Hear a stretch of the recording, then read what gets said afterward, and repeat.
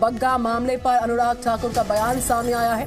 Punjab police ने कानून को तोड़ा कहना अनुराग ठाकुर का इस बड़े बयान में। जिस तरीके से गिरफ्तारी हुई, अनुराग ठाकुर ने बयान दिया है कि पंजाब पुलिस ने कानून को तोड़ा है और ये पूरी कार्रवाई की है। ये बयान अनुराग ठाकुर का सामने आया है। बग्गा मामले में पंजाब पुलिस पर सवाल उठाए और पंजाब पुलिस पर सवाल उठाते कहा कि कानून को तोड़ा गया है पंजाब पुलिस द्वारा।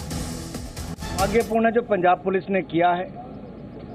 किसी दूसरे राज्य में जाकर कानून की धजियाँ उड़ाना। कानून तो बनाए रखने के लिए पुलिस को रखा जाता है, ना कि किसी के बुज़ुर्ग पिता को प्रताड़ित करना। और किसी भी सिख युवा हो या बुज़ुर्ग हो, उनको पगड़ी भी ना पहने देना, आम नागरिक को चप्पल भी ना पहने देना और घसीटते हुए लेकर जाना।